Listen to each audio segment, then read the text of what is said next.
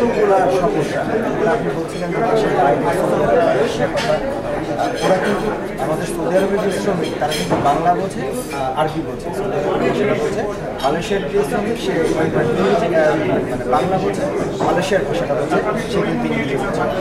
এতগুলা প্রবলেমের মাঝখানে আমি যদি লার্নিংটাকে স্টাবলিশ করতে চাই, আমার সবচেয়ে বড় বড় চ্যালেঞ্জ এবং আপনার কি মনে হয়, এই চ্যালেঞ্জটা আমি কীভাবে ধন্যবাদ করার জন্য অ্যাকচুয়ালি এই লার্নিং যে আমরা বলছি এই মানে ইলেকট্রনিক এই যে আপনি আমাদের মোবাইল ফোন আছে অনেকের আছে এই মোবাইল ফোনে যদি আমরা কোনো ইনফরমেশন শেয়ারিং করে শিখি, সেটাও একটা learning। অবশ্যই আমি জানি বাংলাদেশ একটা উন্নয়নশীল দেশ। এখানে অনেক ধরনের টেকনোলজিক্যাল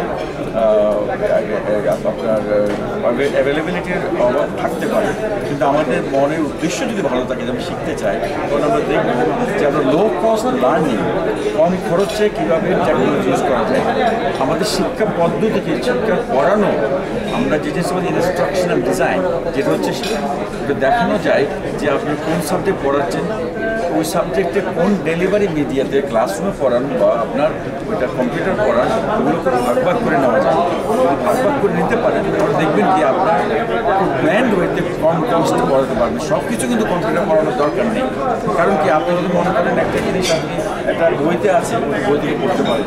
মনে করেন ইদানিং কম্পিউটার অ্যাক্সেসিবিলিটি থাকে ইভেন দ্য সেলাফোনের এস এম এসের মাধ্যমে অনেক ধরনের ইন্টারাকশন ইন্টারাক্টিভলি করা যায়।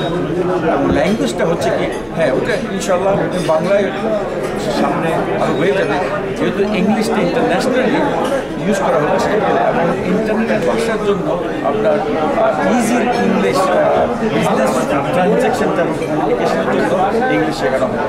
তো আমাদের এত কিছু প্রতিকূলকে আমরা পারব, আমি তাদের সাথে আমি আমরা পারব হচ্ছে আমাদের সর্বোচ্চ উদ্দেশ্য এবং আমাদের আজকালকার, আমাদের যারা শিক্ষার্থী আছে, তারা কিন্তু ইন্টারনেট এবং টেকনোলজির মাধ্যমে শিক্ষা গ্রহণের জন্য তারা প্রস্তুত আমাদের বের আমাদের কত ধরনের আমরা অপচয় করছি, শিক্ষাক্ষেত্রে আমাদের অপরচুনিটি আমাদের আমাদের বাজেটটা বাড়িয়ে দিয়ে আমাদের শিক্ষার্থীদেরকে আরও গুণগতভাবে উন্নত করে দেশে, বিদেশে যেন আমাদের শিক্ষার্থীরা, আমাদের বাংলাদেশিরা ভালোভাবে চাকরি করে দেশের আপনার দেশে উন্নত করতে পারে এবং দেশে এখান থেকে অনেক ধরনের আউটসোর্সিং কাজ করতে পারবে যে আমাদের শিক্ষার্থীরা একটু সুযোগ পায় এবং অনেক ধরনের সমস্যা যেগুলো আছে ওগুলো কিন্তু কিছুই থাকবে না। যদি আমাদের সদস্য থাকে এবং শিক্ষকরা যদি সময় নিয়ে আমাদের এখানে প্রচুর